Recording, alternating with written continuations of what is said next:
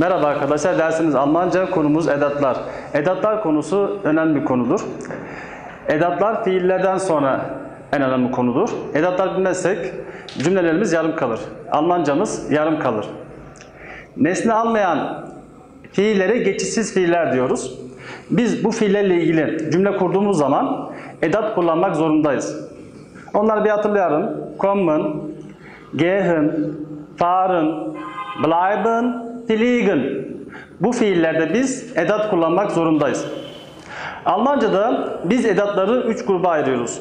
Sürekli akuzatif alan edatlar, sürekli datif alan edatlar, hem akuzatif hem datif alan edatlar diye üç gruba ayırıyoruz. Ama biz A1 için, A1 seviyesi Almanca için sürekli datif alan edatları bilmemiz yeterlidir arkadaşlar. Şimdi ben size bundan anlatacağım. Sürekli datif alan edatlar A1 seviyesi için. Bu edatlar e, 6-7 tane kadardır. Şimdi bu edatların e, 4 tanesinin anlamı aynı. Anlamı aynı olunca biz bunları nasıl ayırt edeceğiz? Biz bunları kullanım özelliğine göre ayırt edeceğiz. Diğerlerinde sıkıntı yok. Sadece anlamını bilmemiz yeterlidir. Şimdi bir tahtaya bir bakalım. Bakın yazdım. 1. Aus den dan. 2. Von den dan. Bakın ikisinin de anlamları aynı. Peki hocam biz bunları nasıl ayırt edeceğiz? Kullanım özelliğine göre. Tek tek yazdım. Biraz sonra inceleyeceğiz. Evet. Kullanım özelliği 1. Memleket belirtirken aus kullanacağız. Ich komme aus Hatay. Ben Hataylıyım. Peki bunun e, fon- fonda karşılığı nedir? Memleket dışından bir yerden geliyorsak o zaman fon edatını kullanacağız. Ich komme von Ankara. Ankara'dan geliyorsam ben fonu kullanacağım. Çünkü ben Ankaralı değilim. Evet, diğer kullanım özelliği Ağustos'la alakalı. Kapalı alandan gelirken, bakın burada şeklimiz var. Kapalı alandan gelirken ifade etmek için bu, şek- bu şekilde bir şeklimiz var.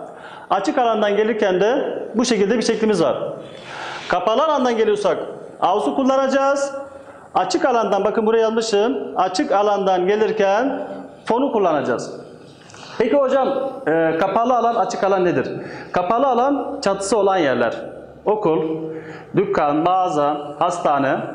Açık alan park, bahçe. Yani çatısı olmayan yerler. Bir bakalım. Örneğimize bir bakalım. Ich komme aus dem Geschäft. Dükkandan geliyorum. Dükkan kapalı alan arkadaşlar. Fonla ilgili özelliğine bakalım. Neydi? Açık alandan gelirken. Ich komme von Park. Parktan geliyorum. Park açık alan olduğu için burada fon kullanacağız arkadaşlar. Demek ki datif alan edatlarda dört tanesinin anlamı aynı. Biz bu anlamı aynı olanları nasıl ayırt edeceğiz? Kullanım özelliğine göre. Aus memleketimizi söylerken kullanacağız. Kapalı alandan gelirken kullanacağız. Fon memleket dışından bir yerden gelirken kullanacağız. Ve açık alandan gelirken kullanacağız. Şimdi diğer iki aynı anlama gelen edatları anlatacağım. Üçüncü edatımız na. Bakın anlamı e, a, y, ya. Diğer aynı anlama gelen edatımız, dördüncü edatımız su. Anlamı gene bakın e, a, y, ya. Şimdi ben bunları karşılaştıracağım. Bunların ikisinin anlamı aynı. Nasıl ben ayırt edeceğim? Kullanım özelliğine göre.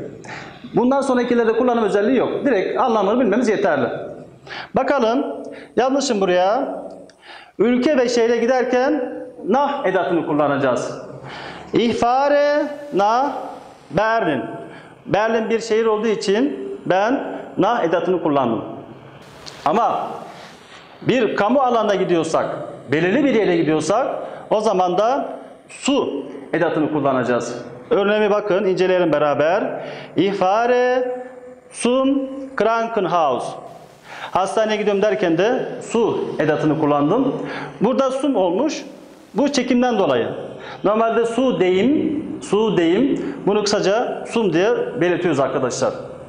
Şimdi ben e, e, mesela e, dükkandan geliyorum. Bakın dendan. Bana dendan anlamında bir edat lazım oldu. Peki dendan anlamında hangi edatlarımız vardı? Ausla fon. Ne yaptık? Diğerlerini iptal ettik. Ama Ausla fon aynı anlamda biz bunu nasıl ayırt edeceğiz? Kullanım özelliğine göre. Nereden geldiğimize bakacağız. Dükkandan, mağazadan geliyorum. Kapalı alan olduğu için ne yapacağım? Aus'u kullanacağım, fonu iptal edeceğim. Ben cümlemi ona göre kullanacağım. Ich komme aus dem Geschäft. Evet arkadaşlar. Almanca'da 3 tane edat aynı anlama geliyor. Şimdi bunların ayrımını göstereceğim. Bir bakalım.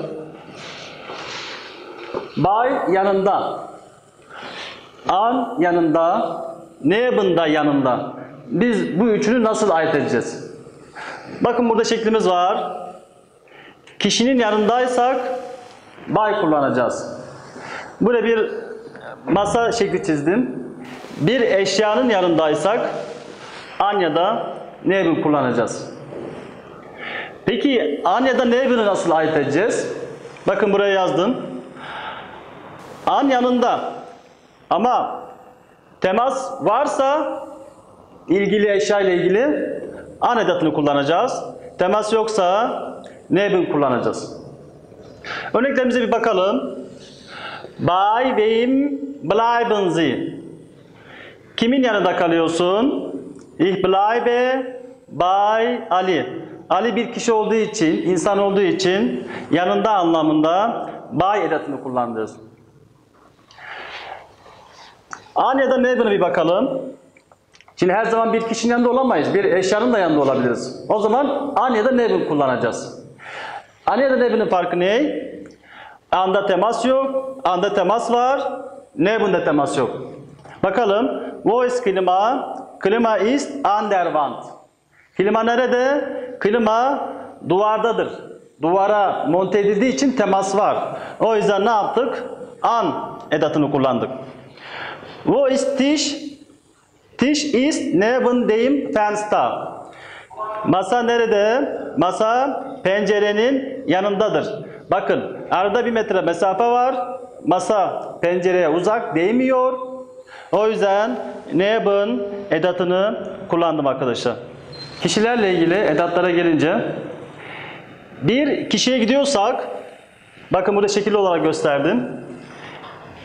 Ok yönü bir kişiyi gösteriyor. Bir kişiye gidiyorsak su edatını kullanacağız.